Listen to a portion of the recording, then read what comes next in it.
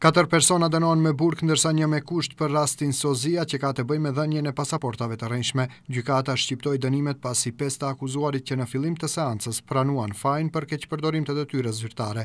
Gjatë shqiptimit të dënimit, gjykatësja tha se personat e akuzuar kanë përfituar të mira materiale dhe kanë keqpërdorur identitetin e qytetarëve të Republikës së Maqedonisë së Veriut. Personat në fjalë kanë dhënë pasaporta edhe personave me dosje kriminale ndërkombëtare duke rrezikuar sigurinë e vendit dhe më gjerë. Denis Baruti dënohet me dy vjet dhe shtatë muaj, i llogaritet edhe koha e kaluar në paraburgim.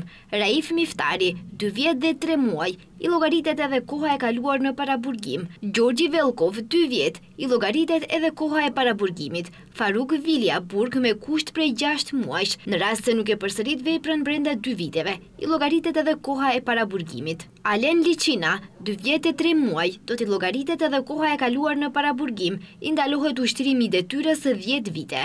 Njëra nga të akuzuarit, për shkaqe shëndetësore nuk ka marrë pjesë në seancë gjyqësore, por avokati i saj me një shkresë e ka njoftuar gjykatën se është e gatshme të pranojë fajin dhe për të do të mbahet seancë tjetër. Për pesë persona, të cilët janë shprehur si të pafajshëm, gjykimi do të vazhdojë ditën e premte.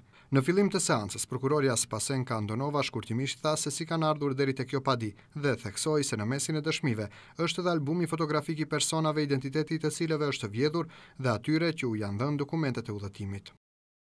Album me fotografi dhe të dhëna lidhur me dyqind e pesëmbëdhjetë dokumente udhëtimi, ku qartë mund të dëshmohet se identiteti i kujt është shfrytëzuar Gjegjësisht si duket pamja reale e personit që është shfrytëzuar identiteti dhe si duket personi që ka shfrytëzuar këto të dhëna në dokumentin e udhëtimit. Siç ka njoftuar Prokuroria Themelore në Shkup më katërmbëdhjetë prill kur u ngrit propozim padia, pasaportat janë dhënë në periudhën prej qershor dy mijë e shtatëmbëdhjetë deri në fund të vitit dy mijë e njëzet.